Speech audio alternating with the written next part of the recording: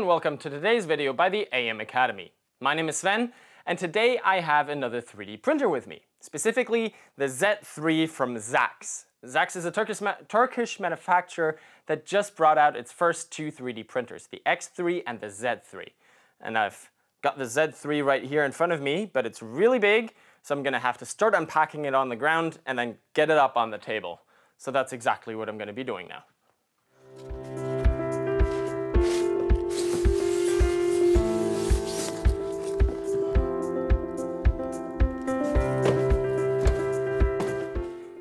Right, so I needed somebody else to help me put it up on the table, so that wasn't on camera.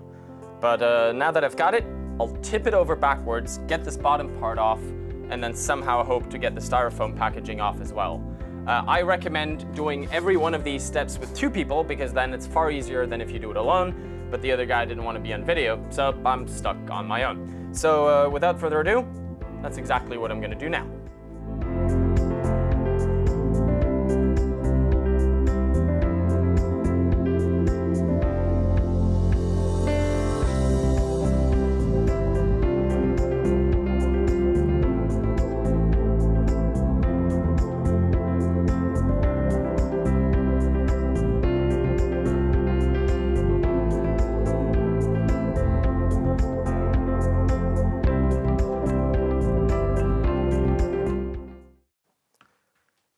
So I'm not sure whether that was visible on my face, but this thing is heavy. So 100% do this with two people. It'll so save you so much trouble. You won't break the styrofoam like I did, and it'll just be a much nicer experience to get this thing out of the box. But once you have it out of the box, man, does it look nice. So it's this heavy because it's got a pretty solid uh, steel core frame uh, to make sure that it remains rigid and solid no matter what you do. What I like about these printers is they don't actually sit on four individual feet. Instead, they sit on two long ridges of rubber. Uh, so that makes it a lot easier, uh, a lot better in terms of stability. They don't wobble in any way. They stay nice and solidly on the table. Uh, in exchange, they can't be adjusted upwards or downwards. So uh, I hope you've got an even surface to place this on, which honestly, you should anyway. Okay, then, I'm not gonna rotate this one too much because it's heavy as hell, but you can see it's got two actual glass doors, so I like that. These are real glass, tempered and whatnot, but glass. The sides are from um, plexiglass and the top is acrylic, or the sides are most likely acrylic as well. Now, I will break my promise I made just now and rotate it a bit. There's a USB plug here on the side. On the back, there is um, let me rotate more because this one's actually got something interesting on the back. Unlike its smaller brother, this one has three Ethernet ports instead of just one. And that's because one is actually for connecting to your network, which is the Ethernet port on the right. One is for aux, which is you know external appliances that can plug in. And the third one is for the multi-material system that Zaxe is still developing. So you can then print with multiple materials because this on its own is a single nozzle printer.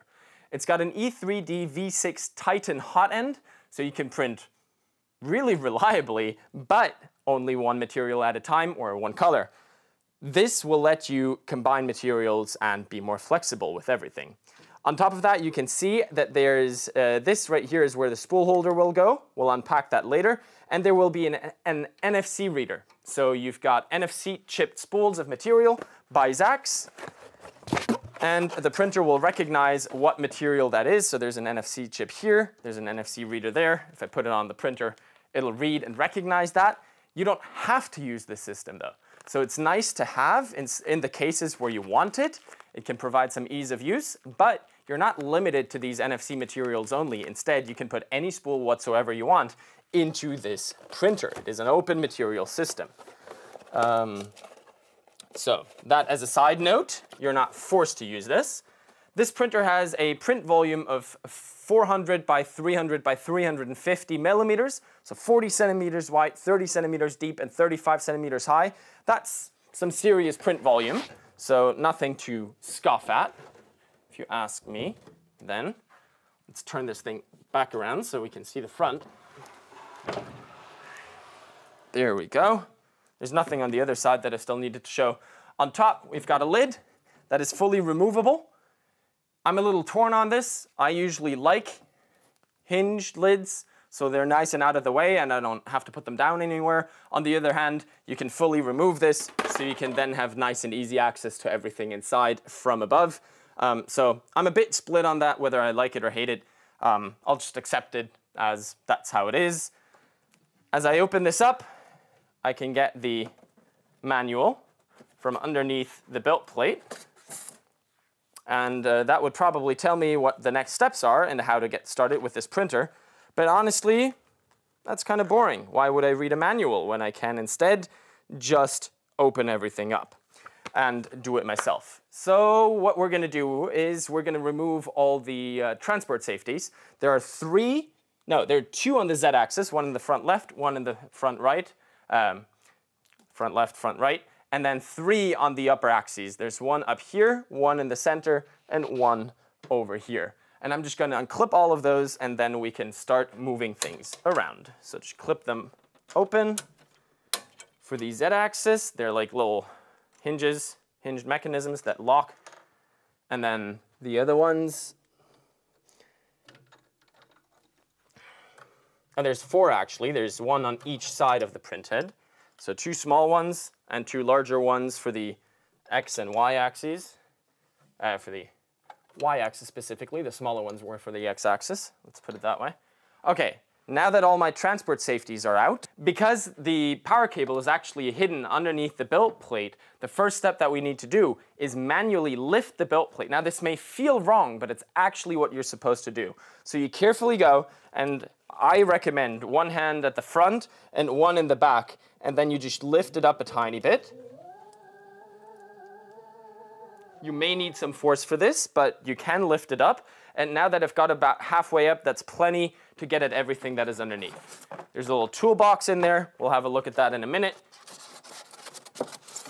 Then there's the power cord that I can now use to plug the printer in and then do the next steps.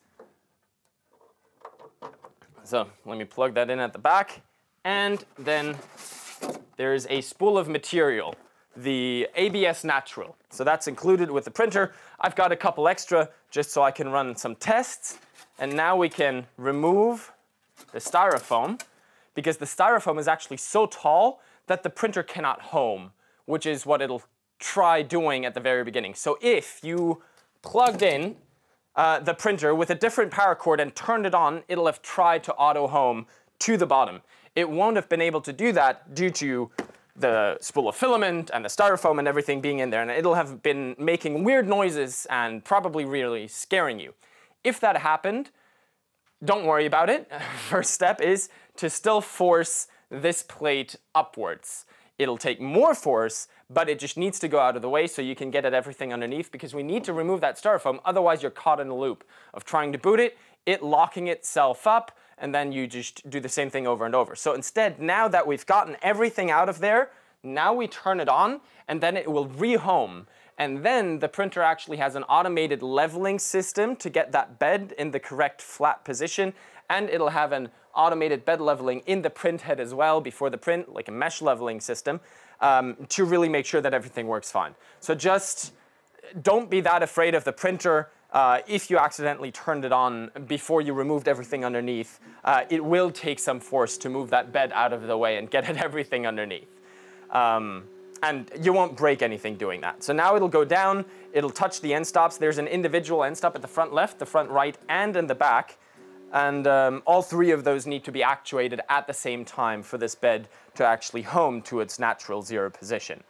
The built plate itself is a magnetic PEI sheet. It's uh, mirror smooth on the surface, so you have a very first, a very good first layer quality. Uh, it is the same on both sides, so if one side scratches, you can just flip it over. There are also uh, surfaces that are uh, structured, so you won't need as much glue to use with them. And of course, they're flexible, so it's very easy to get your finished prints off of them.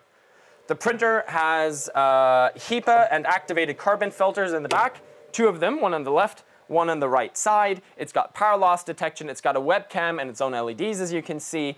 Uh, using the xCloud software, you can then remotely monitor and start prints and stop prints and do all that printer management stuff that you may want to use uh, a cloud software for.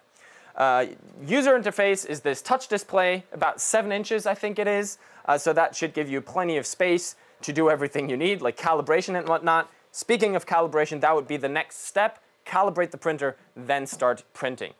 These printers normally come pre-calibrated from the factory because they did test prints there, but it never hurts to make sure and just recalibrate it one more time before you start.